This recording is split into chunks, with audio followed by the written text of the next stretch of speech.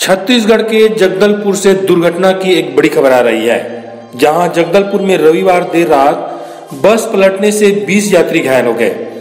इनमें पाँच की हालत गंभीर बताई जा रही है। उन्हें डिमरापाल मेडिकल कॉलेज रिफर किया गया है। हादसा नेशनल हाईवे तीस पर जगदलपुर से लगे मेटवा मेटवावाड़ा आसना के पास हुआ है। बस रायपुर से जगदलपुर जा रही थी। जानकारी के मुताबिक महिंद्रा ट्रेवर्स की बस रात करीब तीन बजे अनियंत्रित होकर सड़क किनारे पलट गई। हादसे के बाद चीख पुकार मच गया। इस बीच सूचना मिलने पर पहुँची पुलिस ने ग्रामीणों की सहायता से यात्रियों को बस से बाहर निकाला और घायलों को इलाज के लिए अस्पताल भेजा। हादसे के समय बस में 40 से ज़्यादा लोग सवार थे। आशंका है कि ड्राइवर को झपकी आने की वजह से बस अनियंत्रित हुई होगी। बस की स्पीड भी ज़्यादा थी। यात्रियों के मुताबिक बस दो से तीन बार सड़क पर पलटी है। फिर जाकर के सड़क के किनारे लगी।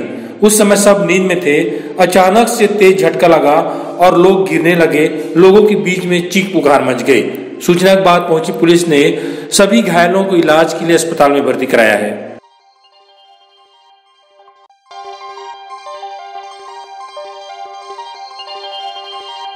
छत्तीसगढ़ की सभी खबरें देखने के लिए देखते रहिए छत्तीसगढ़ एक्सप्रेस न्यूज़।